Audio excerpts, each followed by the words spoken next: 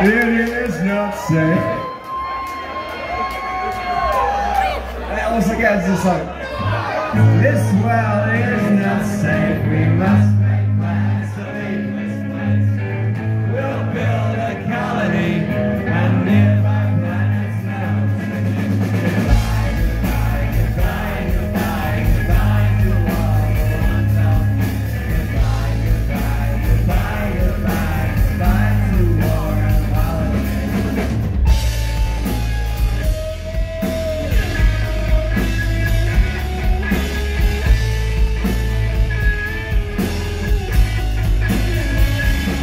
thank you